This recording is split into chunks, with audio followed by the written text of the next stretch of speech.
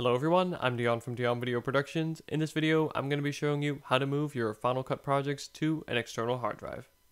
Alright, so this process is going to involve three steps. First, we're going to have to find the project that we want to move or copy over. And secondly, we're going to create a new library on our external hard drive to store it in. And thirdly, we're going to move or copy the project over. So without further ado, let's get started.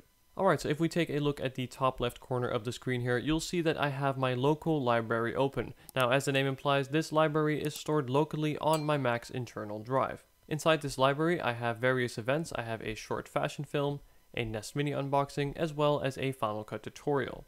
And inside of each of these events is an associated project that we can edit and play right here in our project timeline. Now the first thing we're going to want to do is find a project that we want to move or copy over to our external hard drive. So let's say I want to choose this one here. This only includes a few short clips so it will be quick to copy over. Next you're going to want to make sure that your project is selected. Next we're going to go up into the file menu and from here we have two options. We either have the option to copy the project or to move the project. Now in both cases, Final Cut is going to select the project as well as all of its associated media, meaning any media that's used in that project. So that can include clips, text, voiceovers, images, anything that it may include. Now, if we choose to copy the project over to a different library, this is a great way to create a backup or also to create archives of a given project. As in this case, you'll have two copies of the project both on your local library as well as on your external library. Now, if you choose to move the project over to the library, this is a great way to clear space on your current library as this will take the project and all of the before mentioned associated media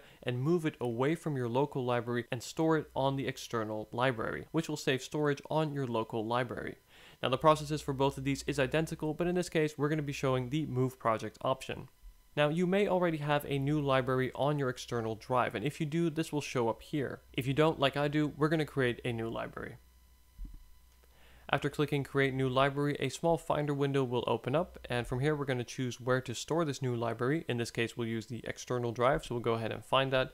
As you can see all that's currently in my drive are some time machine backups however no libraries yet. So let's go ahead and rename this as well. Now, when you rename your library, make sure you do not rename the file extension, or in other words, the .fcp bundle section. However, the word untitled and anything before that can be renamed. Now, to clearly differentiate between our libraries, we're going to call this external library. There we go. Once you're done, press save. Alright, so from here a pop-up window will appear and this will give you the option to also include optimized media and proxy media.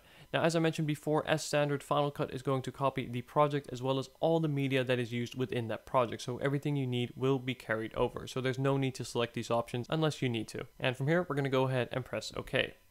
Alright, so Final Cut is now moving the project and media over to our new library. Now this shouldn't take very long, but will depend on how large the project is. In my case, it was only a few clips, so only took a few seconds to do. Now, if we go ahead and take a look at the top left corner of the screen, once again, we now have two libraries. As you can see, we have the external library, which is the one we just created and the one that's stored on our external drive. And we still have, of course, the local library, which is the one that's running internally on our Mac. And you can see they're both running at the same time. Now, as standard, Final Cut requires there to be at least one event in each library. Therefore, it automatically created an event in the library we just made, and it's just named it as today's date. And of course, we can go ahead and change this to whatever we like. Now, in this case, let's go ahead and change this to fashion film. Now, because we chose to move the project over from our local drive to the external drive, if we go back to the local drive and go to that previous event, fashion film, you'll see that the project is no longer there as this is now only in the external library and as you can see it is stored right here. We can go ahead and open this and we can go ahead and edit and work from this project as we would if it were stored on our local drive. Now to further prove that this is the case, what we're going to do is actually close our local library. So we can go ahead and select it, right click and select close library.